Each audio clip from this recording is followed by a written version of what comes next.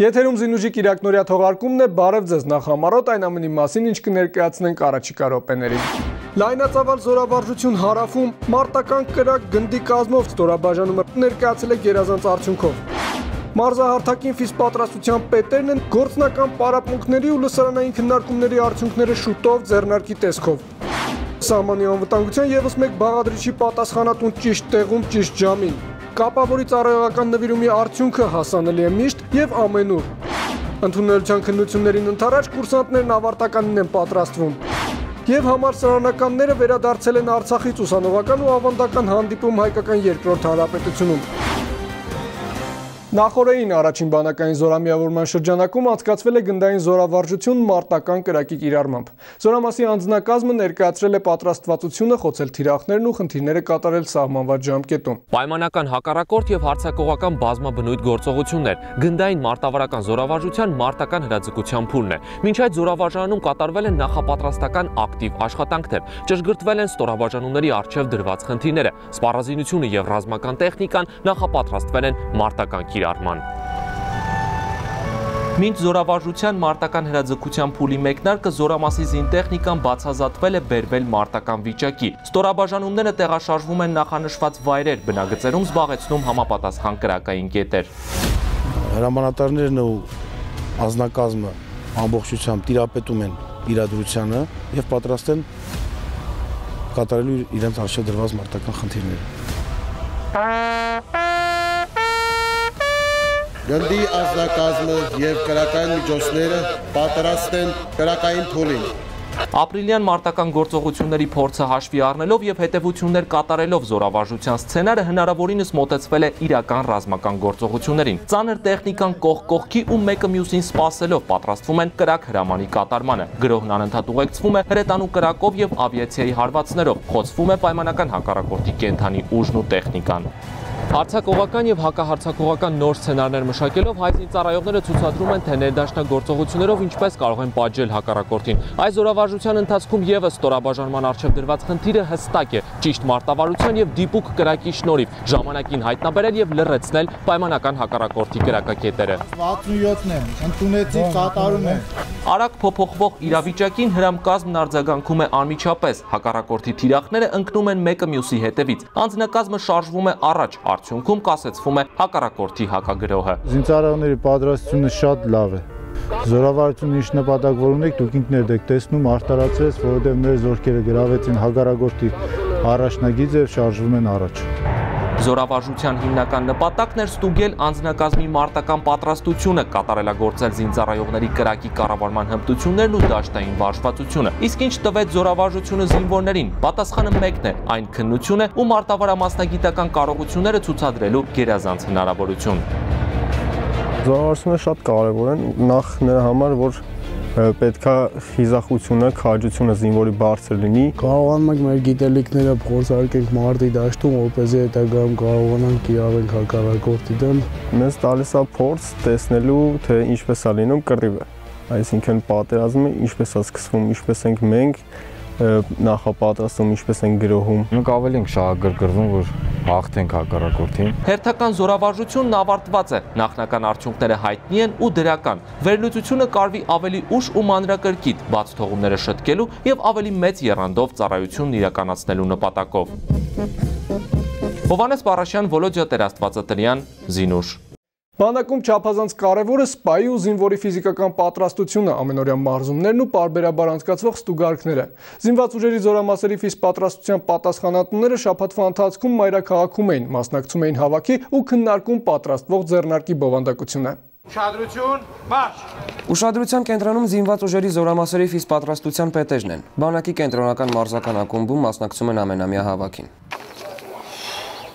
Այսպես ու այստեղից է սկսվում առողջ ապրելակերպը, անձնական օրինակով ու փորձը զինծառայողներին փոխանցելով։ Բանակային առաջադրանքներն ու հատկապես մարտական խնդիրները կարելի է գերազանց կատարել կոփելով մարմինը, ձգտելով լավագույն արդյունքի։ Մայոր Խաչատրյանը Գեղարքունիքի լավագույն մարզական ընտանիքի հայրն է։ Օրինակ է ոչ միայն ժամկետայինների, այլև ընտանիքի համար։ Ֆիզիկի ձևակերպման անձնակազմի ֆիզիկական պատրաստությունը կարելի է բարձրացնել ինտենսիվ պարապմունքների եւ յուրաքանչյուրի հետ անհատական աշխատանքի շնորհիվ։ Կա մի հինասով սազք, որ կատարին անպես ինչպես որ ես։ Մենք բոլորս էլ հենց այդ նույն սկզբունքով շարժվում ենք։ Չի կարելի ենթակայից պահանջել այն ամենը, ինչը որ դու չես կարող։ Մարշ։ Մարզական հարթակում զինված ուժերի բոլոր ֆիզղեկերն են, հաջորդելով մեկը մյուսին ու անցնելով առաջադրանքներին։ Փոխգործակցության շրջանակում նրանց կազմում են նաև Արցախի սպաները։ Եթե մի բան դու չես կարողանում կատարել, ապա դա դու չես կարող սովորացնես։ Պետք է ինք սեփական օրինակը մեծ դեր խաղա դրա մեջ, դու կարողանաս ցույց տաս, բացատրես։ Մարզումները միայն ֆիզիկական չեն եւ ոչ էլ բաց երկնքի տակ։ Հավաքը ներառում է նաև լսարանային ստուգարքներ, քննարկումներ ու գլխավորը ակնկալում է նոր մտքեր։ Հենց այդ գաղափարներն էլ կհրատարակվեն։ Շուտով մասնակետերի սեղանին կլինի ֆիզ պատրաստության ուսումնական նոր ձեռնարկը։ Փոխում է վարությունների կատարման պայմանները, փոխում է վարությունների ծավալը, հույսով եմ, որ նոր ձեռնարկը ավելի նոր շունչ եւ ավելի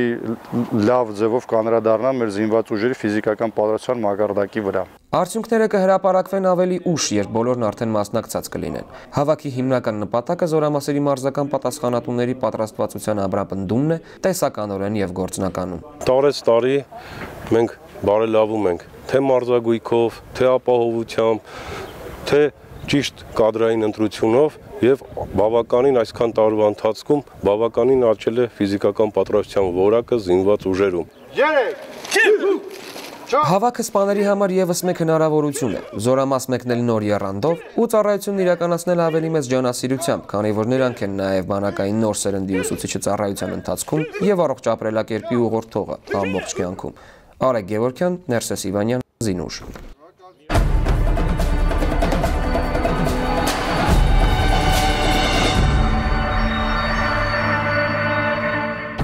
1699 թվականի մարտի 20-ին Պյոտր առաջինը հիմնեց Սուրբ Անդրեյ Արաքյալի ռուսական առաջին շքանշանը։ Հատուկ դեպքերում այն զարդարում էին ադամանդներով։ Շքանշանի առաջին ասպետը դարձավ գեներալ ծովակալ Ֆյոդոր Գոլովինը։ 25 տարիների ընթացքում Պյոտր առաջինը դրանով ապարգևատրեց ընդամենը 38 մարդու, իսկ ամբողջ պատմության ընթացքում շքանշանի ասպետը դարձան շուրջ 1000 մարդ։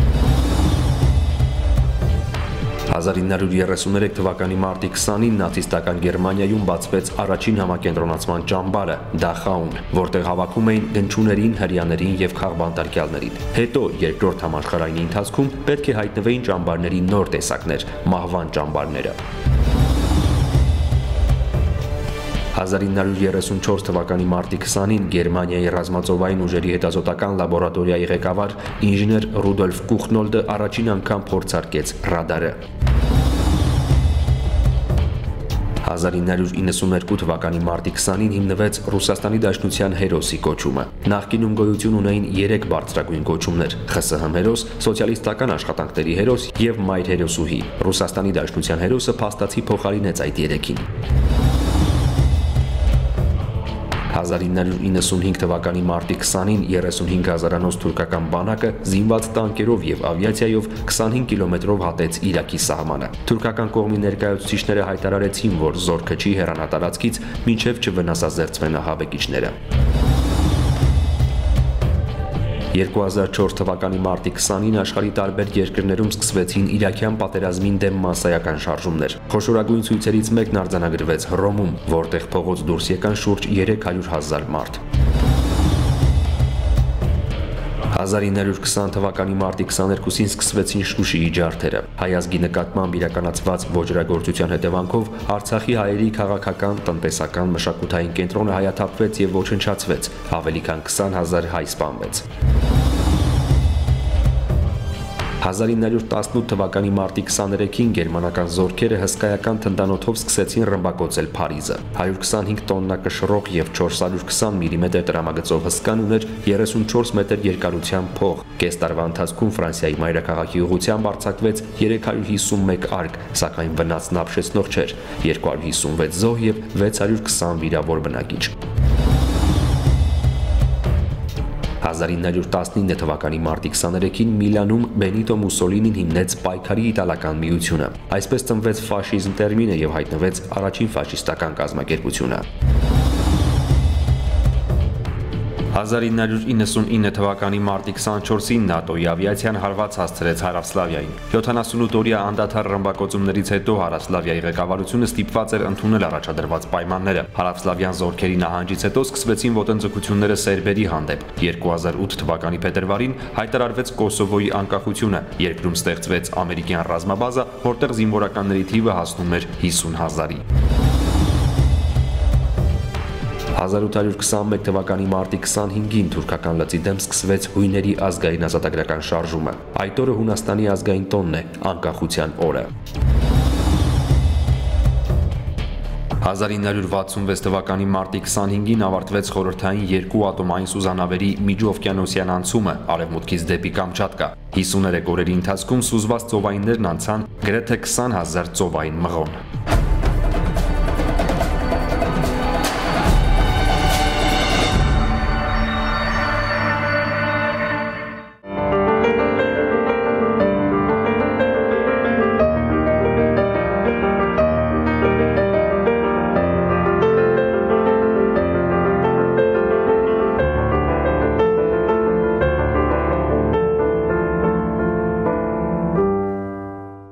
Նրանց ավելի հաճախ կարելի է լսել, քան տեսնել։ Կապավորի մասնագիտությունն ինքնին պատասխանատվություն է, քանի որ ցանկացած խոտան կարող է անդառնալի հետևանքներ ունենալ։ Սա է պատճառը, որ կապավորներն ամեն ինչ անում են աշխատանքը լիարժեք կատարելու, ծառայությունը բարեխիղճ իրականացնելու համար։ Եթե քաղաքում երբեմն բաժանորդն անհասանելի է, սահմանին ու դիրքում կապավորը միշտ է հասանելի։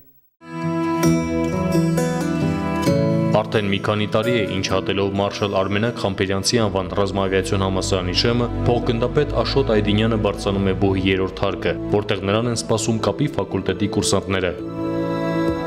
Այդ ֆակուլտետի մարտավարության ամբիոնի պետը Արցախյան ազատամարտի թոհոբոհով անցած նախկին ազատամարտիկը լսանում իր գիտելիքներն ու փորձն է փոխանցում կապի ստորաբաժանումները համալրել պատրաստվող ապագա կապավորներին։ Եվ փոխանակման կերպ հիմա գնդը 1991 թվականի մայիս ամիսն էր։ Օղակ գործողության արդյունքում հայաթափվեց Լեռնային Ղարաբաղի Հանրապետության Շահումյանի շրջանը։ Տասնյակ հազարավոր տեղաբնակներ թողնելով ծննդավայրերը արտագաղթել եւ ժամանակավոր ապաստան էին գտել Ստեփանակերտում։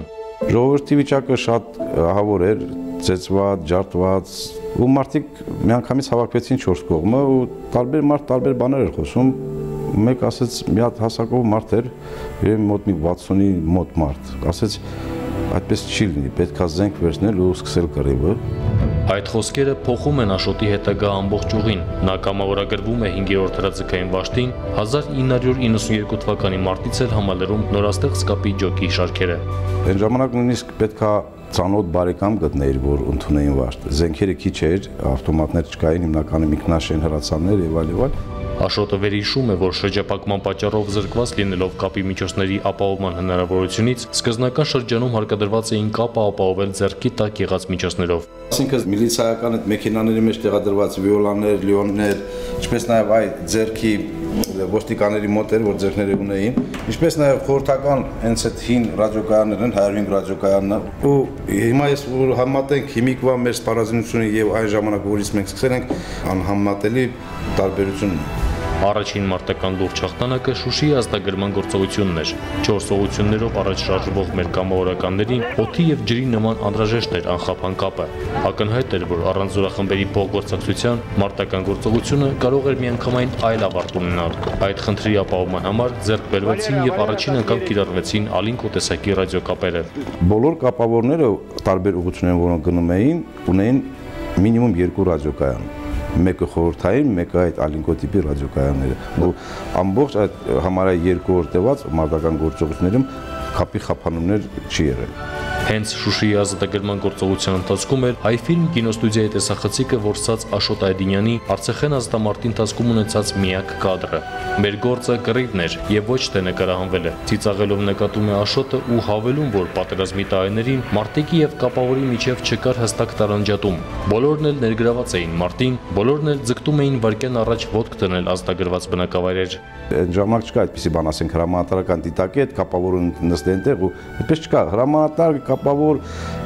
զինվոր սաղ մի շարքով գնում էինք ու բոլորն էլ նույն գործն էինք անում։ Զինադատարի պայմանագրի կնքումից հետո կամավորականների մի մասը վերադարձավ հայրենի օջախներ։ Աշոտը սակայն մնաց զինված ուժերում ու իր հետագա ուղին կապեց հայրենի Արցախի պաշտպանության գործին։ Միջև էլ էի ուզում զինվորական դառնել։ Ուղղակի բախտի բերմամբ չդարա, բայց հետո կյանքը ստիպեց ու դարանք զինվորական։ Բացի դրանից էլ մանավանդ Լեռնային Ղարաբաղի Հանրապետությունում դա շատ կարևոր էր։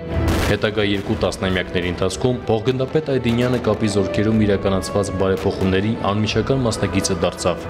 Արդի տեխնիկական պահանջներին համահունչ ներդրվեցին կապի թվային սարքավորումները, որոնք այսօր էլ անխափան կապ են ապահովում։ Պատերազմից հետո սկսեցինք առաջի անգամ զբաղվել մարտական պատրաստությամբ, որը դա պատերազմի ժամանակ ընդհանրապես չկար։ Մենք առաջի անգամ սկսեցինք պլանավորել, որը չէինք իմանում ինչ է մարտական պատրաստության պլանավորումը կամ դասընթաց կամ պարապմունք, հա, պլան համառոտագիր եւ այլ եւ այլ։ Հիմա էլ ճիշտ ասած ամեն օր զանգում եմ, խոսում եմ ու գիտեմ հիմիկվալ համառարություն, որ ավելի ժամանակակից թվային սարքավորումներով, թվային ռադիոլային կայաններով, որը հնարավորություն է տալիս ընդཐུպ միջև ես իմ սենյակից խոսեմ միջև գումարտակի հրամանատարական դիտակետ առանց ոչ մի կամուտատորի միանալու։ Արդեն 3 տարի է, ինչ Աշոտ Այդինյանը ծառայության է անցել Մարշալ Արմենակ Խամպերյանցի անվան ռազմավիացիոն համալսարանում։ Յուրաքանչյուր օր նա համալսարանի կուրսանտներին է ներկայացնում կապի միջոցների շահագործման ու ապահովման հմտությունները։ Աշոտը հպարտությամբ է ներկայացնում համալսարանի ընձեռած հնարավորությունները, խոսում կուրսանտների շրջանում ինքնուսուցման եւ մասնագիտական հմտությունների մեջ խորամուխ լինելու ընդգծված ձգտման մասին այստեղ պատրաստելով մասնագետներ մենք իրանց պատրաստում ենք ամեն առումով նույնիսկ ինքը կարող է ավարտելուց հետո ինքը այդ տեխնիկային առնչվի 5 տարի հետո բայց մենք իրանց սովորեցնում ենք բոլոր սպառազինություն ռազմական տեխնիկա որոնք այս պայդրությամբ ունենք մենք զինված ուժերում Իր եւ բուհի գլխավոր ձեռքբերումը սակայն Աշոտ Այդինյանը համարում է կուրսանտների եւ դասախոսական կազմի միջև ձևավորված փոխվստահության մտնոլորտի հաստատումը։ Բուհում ուսման առավելությունները բազմաթիվ են, դրանցից գլխավորը սակայն եղել եւ այսօր էլ մնում է հայրենի երկրի պաշտպանությանը ծառայելու պատիվը։ Փաստում է փոխգնդապետը եւ ներողություն խնդրելով շտապում հաջորդ դասաժամին։ Նարսես Իվանյան, Վոլոդիա Տերաստվածատրյան, Զինուշ Զինվորական մասնագիտությունների շարքում ռազմական բժշկի մասնագիտությունը պահանջվածներից է։ Եթե որոշել ես ընտրել այս մասնագիտությունը, առաջին հերթին ռազմաբժշկական ֆակուլտետի կուրսանտ պետք է դառնաս։ Այդտեղ սովորելն էլ ոչ միայն պատվաբեր է, այլև ցանկալի շատ շատերին։ Ինչու՞ պատասխանում են հենց ֆակուլտետի կուրսանտները։ Ռազմաբժշկական ֆակուլտետի շրջանավարտներին այսօր կարելի է հանդիպել տարբեր զորամասերում, կենտրոնական կլինիկական, զինվորական եւ կայազորային հոսպիտալներում, բնականաբար նաեւ ռազմաբժշկական ֆակուլտետում։ Զորամասի բուժծառայության եւ բուժկետի պետ բժիշկ մասնագետ դասախոս նմանօրինակ կարիերայի հնարավորություն այսօր ունի ֆակուլտետի յուրաքանչյուր կուրսանտ։ Տղաները խոստովանում են, այստեղ սովորելը ոչ միայն պատվաբեր է, այլև ցանկալի շատ շատերի համար։ Փոքր ժամանակ հետաքրքիր այդ գործիքները, հետո հերոստացույցով հաղորդում կար, որ վիրահատություններ էին ցույց տալիս, բավականին հետաքրքիր էր, բացի այդ շտապօգնության մեքենայի ձայնը, ասենց այդ որ արագ գնում մարդկանց օգնում են, այդ ամեն ինչը ներգործություն ունեցավ ու որոշեցի բժշկական համալսարան տալ։ Ծնվել եմ Արցախում եւ մեծացել եմ այնտեղ, հենց զինվորականի ընտանիքում եւ փոքրուց դասյարակվել եմ որպես զինվորական, դրա համար հենց զինվորական բժշկի մասնագիտությունը, իսկ ինչ վերաբերում է բժշկի մասնագիտությանը, ինձ համար բժիշկը Աստծո գործիքն է երկրի վրա եւ այդ գործը կատարել ինձ համար մեծ պատիվ է։ Կփորձեմ յուրաքանչյուր ջանք ներդրել, որ เป զի դառնամ իմ երկրի համար պիտանի կարևոր մարդ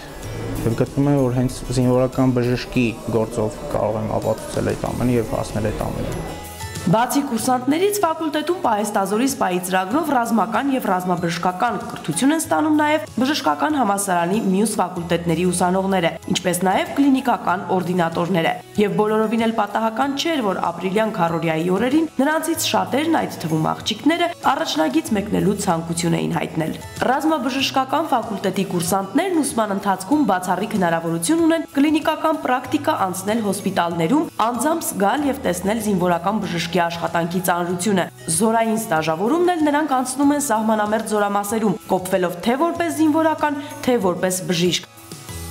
Իմ կարծիքով բժիշկը պետք է նաև տիրապետի ռազմական արվեստին եւ ված չի լինի, եթե բացի բժշկական ծառայություններից կարողանա նաև մասնակցել ռազմական գործողությունների։ ռազմաբժշկական ոլորտի զորավարժություններ, ՆԱՏՕ-ի եւ ՀԱՊԿ-ի շրջանակներում կազմակերպված հավաքներ։ Այս ամենն էլ մասնագիտական գիտելիքները կատարելագործելու հնարավորություն են ընձեռում։ Առաջինը ես ընտրել էի բժշկի մասնագիտությունը, քանի որ դա ինձ համար շատ բարձ մաքուր, այդ մարդասեր մասնագիտություններից մեկն է օգնել մարդկանց, եւ ինչի զինվորական, որովհետեւ մեր հայաստանյան պայմաններում, պատերազմական իրավիճակներում դա անհրաժեշտություն էր, ինչպես եւ ազգային ինքնագիտակցությունից ելնելով ընտրեցի հենց այս մասնագիտությունը։ Բժշկական ծառայության կազմակերպում եւ մարտավարություն, արտակարգ իրավիճակների բժշկություն եւ ռազմական թունաբանություն, ռազմադաշտային վիրաբուժություն, ռազմադաշտային թերապիա։ Սրանք այն ամբիոններն են, որոնք պատրաստում են ռազմական բժիշկ մասնագետներ։ Եվ իհարկե, համազորային պատրաստության փուլ, որն անցնում են ֆակուլտետի բոլոր կուրսանտները։ 5 տարի հետո ստանալու եմ սպայական կոչում, լեյտենանտի կոչում, որից հետո արդեն վիճակահանությամբ որոշվելու է, թե որտեղ եմ անցկացնելու իմ բժշկական ծառայությունը զորամասում, որից հետո, որը տևում է 3-ից 5 տարի, որից հետո վերադառնալու եմ նորից ուսման արդեն արձինատուրայի փուլը եւ այստեղ ձեռք եմ բերելու նեղ մասնագիտություն, որը կախված մասնակցությունից լինում է 2-ից 4 տարի, որից հետո արդեն նեղ մասնակցության հաստիքի եմ նշանակվում հոսպիտալներում կամ ԱԲՃ-ներում։ Որքան էլ բարդ թվա զինվորականի եւ բժշկի մասնագիտությունների ջերմակ խալաթի ու զինվորական ուսադիրների համատեղումը, ռազմաբժշկական ֆակուլտետը ոչ մի տարի դիմորդների պակաս չի ունենում։ Այս տարի եւս ֆակուլտետը պատրաստվում է դիմավորել կուրսանտների նոր սերնդին, ամեն օր թարմացնելով ուսումնական ծրագիրն ու արդիականացնելով կրթական գործընթացը, մասնագիտական անհրաժեշտ գույքով կահավորելով լսարաններն ու վերապատրաստելով պրոֆեսորադասախոսական կազմին։ Նաիրա Համբարձումյան, Վոլոդիա Տերաստվածատրյան, Զինուշ։ Մասնագիտություն ընտրելիս շատերը նայում են դեպի ապագա։ Կան մասնագիտություններ, որոնք միշտ լինելու են շատ կարևոր, քանի դեռ մարդկությունը գոյություն ունի։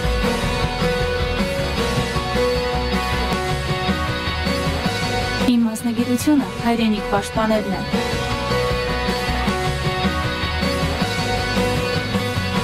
Իմ մասնագիտությունը խաղաղ ապագան է։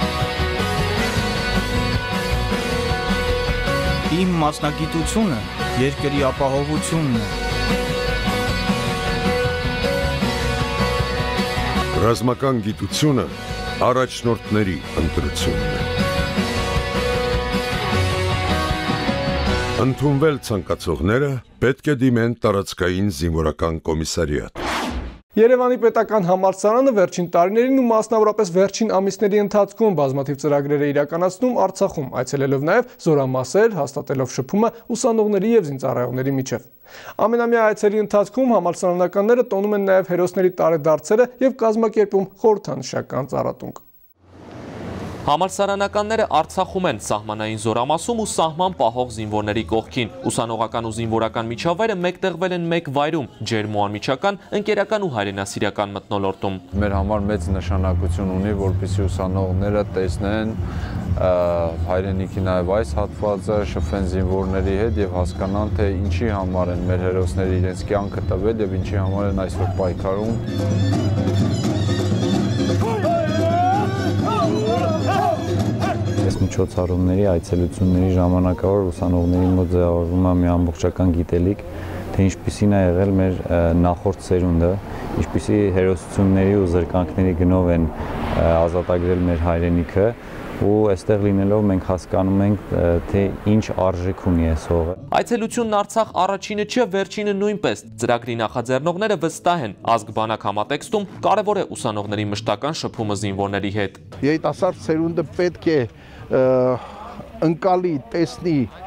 ընդունի այդ ազգ բանակ հասկացողությունը միայն պրակտիկ գործունեությամբ։ Յուրաքանչյուր ազգ բանակ գաղափարախոսություն ամենակարևորը, որ փոխանակեն դրական լիցքեր միմյանցից եւ կարողանան այդ լիցքերը լավ օգտագործել, լավ ծրագրերի, լավ ել ավելի լավ գաղափարների համար, հայրենիքի պաշտպանության համար։ Ուսանողների ու զինծառայողների հերթական հանդիպումն էլ նպատակային է։ Հենց այս մատույցներում է իր հերոսական ուղին ավարտել Արցախյան ազատամարտի հերոս Լեոնիդ Ազգալդյանը։ Նրա ծննդյան 75-ամյակին էլ նվիրված էր համալսարանականների այցը Արցախ։ Մենք ունենք շատ լավ երիտասարդներ, շատ լավ երիտասարդ ծերունդ, որոնց մեջ էլ կան այսօր ու կլինեն դեռ շատ հերոսներ, որոնք պատրաստ կլինեն զենքը ձերքին կանգնելու հայրենիքի ազատության դիրքերում։ Ազգալդյանն առաջիններից էր, ով սկսեց խոսել կանոնավոր բանակ ստեղծելու մասին։ Նա իր ճակատագիրն ամբողջությամբ կապեց Արցախյան գոյամարտի հետ։ Նրա հրամանատարությամբ Արցախում 27 բնակավայր ազատագրվեց։ Հերոսի սխրանքների մասին ջոկատի անդամներից Գագիկ Գինոսյանն է պատմում։ Ազգալդյանը հրամանատար էր ու հեղինակություն զինվորների համար, ով միշտ կանգնած էր ջոկատի կողքին ու ողջևորում էր տղաներին։ Միասնականության գաղափարը մտքում ու հերոսի սխրանքները հիշելով բանակում ծառայում են նաև այսօրվա մարտիկները, միշտ պատրաստ մարտնչելու հակառակորդ ոլորտի դեմ։ Եղբայրական հարաբերությունների մեջ ենք ու փորձում ենք մեկս մեկի ուսին կանգնած լինենք։ Զորամասային կյանքի ու հատկապես մարտական հերթապահություն իրականացնող տղաների ծառայության մանրամասները ներկայացնում են զինվորները, տպավորություններով կիսվում ուսանողները։ Երբ որ հիշում եմ իմ ծառայության տարիները, միշտ մեզ համար հաճելի է եղել այն երևույթը, երբ ուսանողները կամ ինչ որ քաղաքացիական մարդիկ միշտ այցելում են Զորամաս։ Եվ մեզ համար դա մի ուրիշ ողջևորություն էր եւ մենք այդ ժամանակ հասկանում ենք, որ մենք մոռացված չենք հասարակության կողմից։ Հպարտանում եմ, որ այսպիսի տղաներ կան մեր կողքին, սահմանին կանգնած, որ գլուխներս հանգիստ դնում ենք վարձին եւ քնում ենք, դա նրանց շնորհքն է։ Չեմ ծառայել, սակայն ցանկությունս մեծ է ծառայելու։ Տպավորություններս ուղղակի աննկարագրելի են, շատ հպարտ եմ, ուրախ եմ ու կցանկանամ ելի գտնվել։ Ուսանողական հաջորդ կանգառը Բերձորում է, հայրենասիրական շնչով, ազգագրական երկ ու պարով համալսարանականները Ազգալդյանին նվիրված պուրակ են հիմնում։ Սա ավանդական է համարսարանականների համար։ Խորհրդանշական ծառերը վկայում են Արցախի վերածննդի ու նոր սերնդի պատասխանատվության մասին։ Կանցնեն տարիներ մեր ուսանողները